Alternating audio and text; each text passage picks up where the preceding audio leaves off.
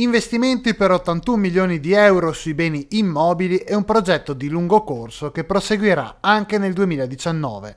L'US Dolomiti ha tracciato un bilancio dell'attività svolta nel 2018, indicando anche alcuni obiettivi futuri.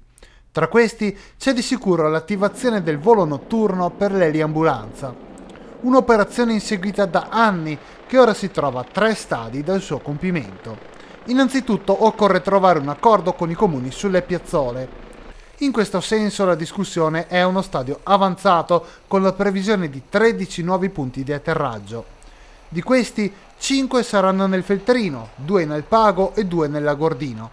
Completano la lista Longarone, Cimagogna, il Passo Falzarego e la piazzola trevigiana di Crespano del Garappa. Secondo passaggio, il nuovo contratto per i servizi di elisoccorso. L'accordo in essere scade il 31 dicembre e verrà prolungato con una proroga tecnica fino all'espletamento della nuova gara che sarà svolta in tempi brevi e includerà anche i voli notturni. Terzo step, il coinvolgimento della galassia del volontariato per mettere a regime il nuovo servizio. Ci dovrà essere chi si occupa dell'apertura dei cancelli, dell'accensione delle luci, dei controlli relativi all'eventuale presenza di animali selvatici nell'area di atterraggio. Non ci sono tempi certi, ma molto probabilmente sarà la gara per l'elisoccorso a definirli.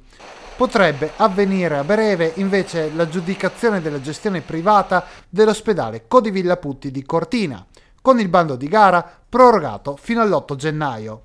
Per la struttura sono stati investiti quasi 600.000 euro per l'adeguamento delle centrali termiche, mentre è stata indetta la gara per i lavori di ristrutturazione e adeguamento da 39 milioni.